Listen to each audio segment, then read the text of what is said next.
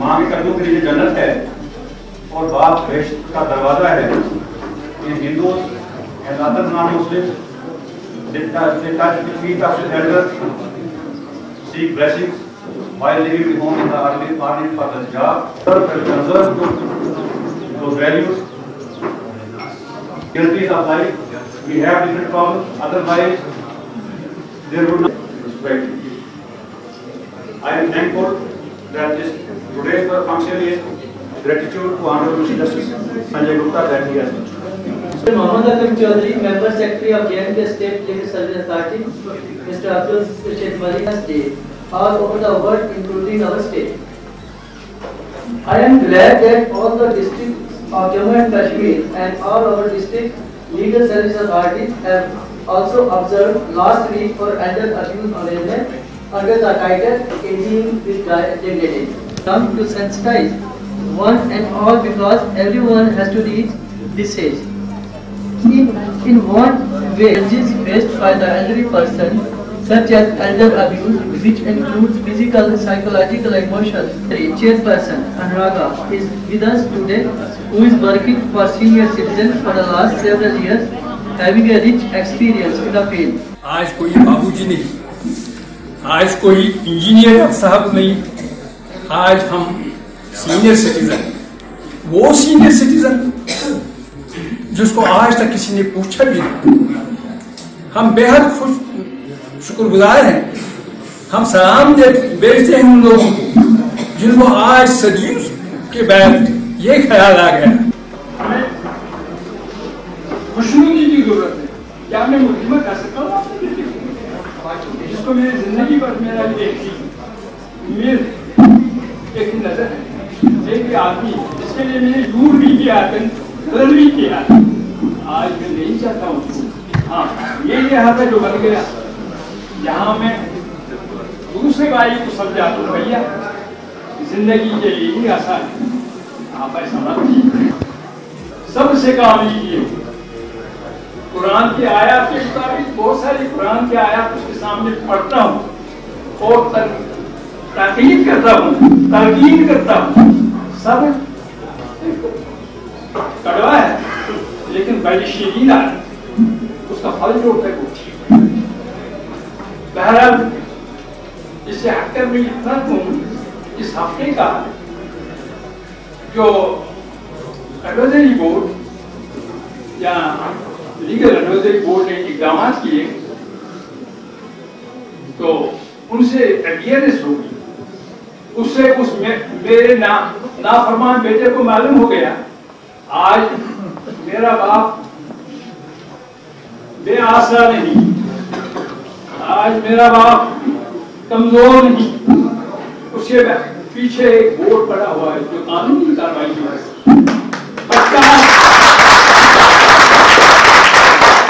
और दुख से बाहर निकल गए अब तो होते यही बिल तो सोसाइटी में है। अब कोई और भी जो पचास परसेंट रह गए शायद वो हमारे ही समझाने से ठीक हो जाएँगे लेकिन ये सब आपके ही बदल We will respect you, we will love. We will not redress all of your feelings. We will not give judgments in your favor. But we have to hear you on prayer. जिन्होंने इस नेक काम में इतनी पहल दिखाई जिसका कोई अंदाज़ा ही नहीं है दुनिया में जो ज़िंदा तरीन कौमें हैं जिन्होंने हैरान कुन इंस्पायरिंग मतलब वो चीज़ें दुनिया को सूर्य और आशा के, के लिए बहम पहुंचाई।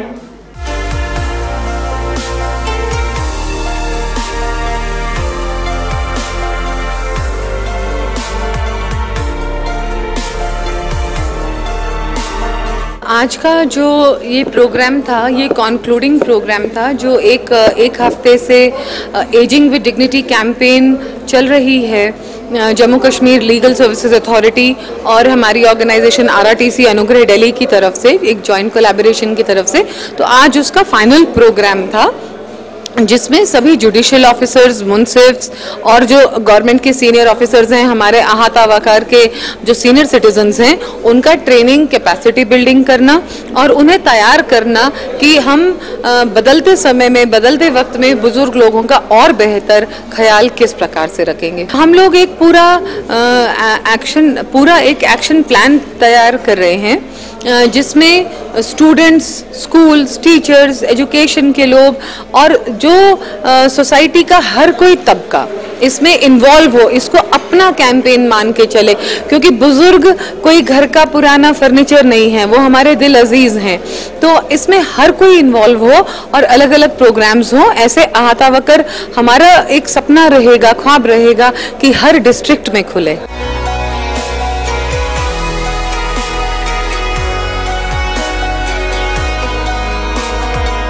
बहुत ही अच्छा लगा ये ये प्रोग्राम जो आज यहाँ पर हुआ, जिसकी वसादत से गीता नेताजी हाई कोर्ट के चीफ जस्टिस हैं तो उनकी वसादत से हो रहा है। हम बहुत ही खुश हैं, वो भी मुबारक मुश्क है अदनान साहब जो इनके इंचार्ज हैं, उनके भी हम बहुत ही शुक्रगुजार हैं, जिन्होंने बुज़ुर्गों के लिए यहाँ पर ये अहत विकार में एक एंटरटेनमेंट सेंटर खोला है। जिसका बुज़ुर्ग काफ़ी फ़ायदा उठा रहे हैं इस वक्त। यहाँ आकर और बहुत भी स्कीमें इन्होंने रखी हैं बुज़ुर्गों के लिए। जैसा आधार कार्ड जैसा मेडिकल मेडिकल स्कीम है जैसा आ, सोशल वेलफेयर में आ, इन बुज़ुर्गों के लिए जो पेंशन वगैरह करने का वादा दिया है हम बुज़ुर्गों को और जो घरों में भी बुज़ुर्ग हैं और हमने उनको भी बुलाया है यहाँ पर यहाँ आइए और अपने नाम रजिस्टर यहाँ पर करवाइए। जैसे कि गवर्नमेंट आपके साथ हर कदम, हर जगह पर खड़ी है।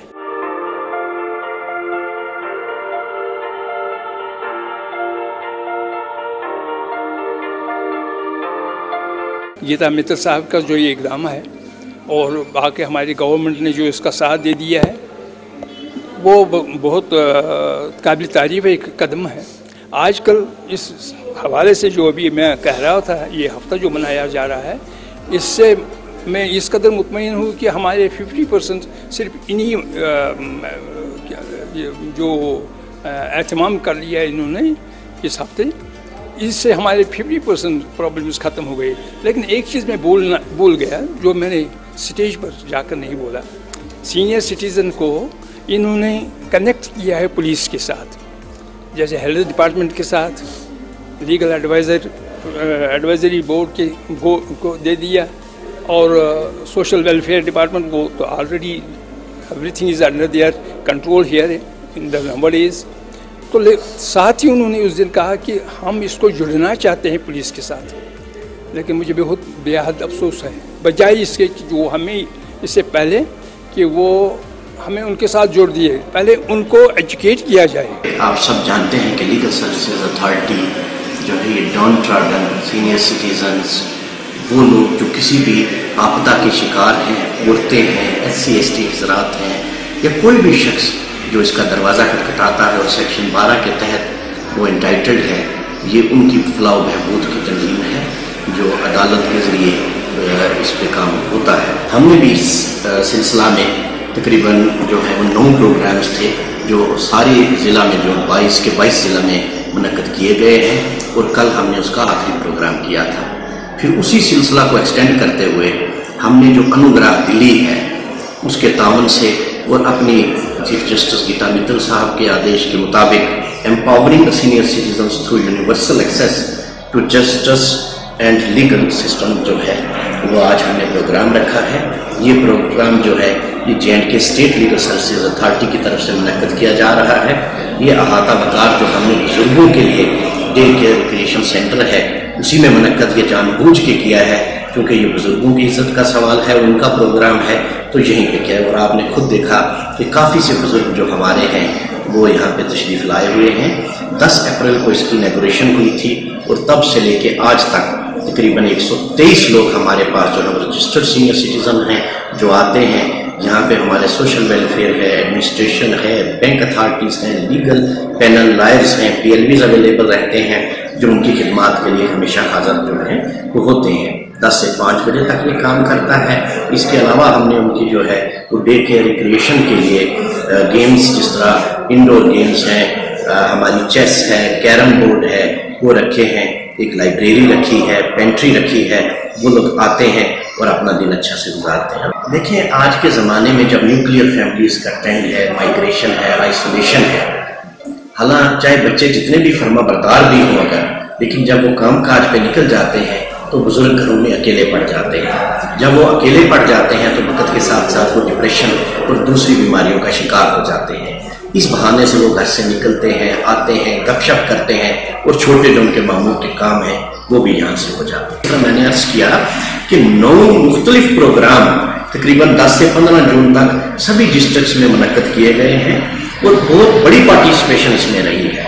आ, हमने आ, जिस तरह Kashmir district legal service authority Srinagar जो है इसने भी नौ में से सात प्रोग्राम किया आज आठवां प्रोग्राम है। और इसमें हमने जितने high secondary schools high school Srinagar के और बुज़ुर्गों का तामन लेके जेल में हमने जो सीनियर सीनियर जो हमारे प्रिजनर्स हैं, उनके लिए प्रोग्राम मीडिया सेंसिटाइजेशन प्रोग्राम हमने किया। हमारे पैनल लीगल लायर्स को उनकी सेंसिटाइजेशन और बच्चे जो कि आने वाला हमारा मुस्तकबिल है और कि जिनके ज़रिए हमारी इज़्ज़त है, हमारे बुज़ुर्गों की इज़्ज़त है, हमने उनका सेंसिटाइजेशन हर तहसील लीगल सर्विसेज़ कमेटी जो है डिस्ट्रिक्ट लीगल सर्विसेज़ अथॉरिटी या high court legal services authority regular ऐसे प्रोग्राम्स जो है वो मनकद करते रहते हैं, जिनमें आम लोगों को जो है वो जानकारी दी जाती है कि उनके हक क्या है, जिसकी हक तलफी हो रही हो, उसके लिए हम शाना बशाना उसके साथ खड़े हैं। लेकिन मेरी नेक्स्ट जनरेशन के लिए भी यही है कि वो कश्मीर का मुहावरा याद रखें कि जहाँ पे एक बुज़ुर्ग जो है उसको बेटा ले गया था धक्का मारने के लिए तो उसने कहा था कि इस पहाड़ी से नहीं, मुझे उस पहाड़ी से धक्का मारो। क्यों? क्योंकि मैंने अपने बाप को मारा था। फिर वो उसको वापस लेके आया कि अगर मैं अपने बाप के साथ, अपने बाप के साथ ऐसा करूँगा, कल मेरा बेटा भी ऐसा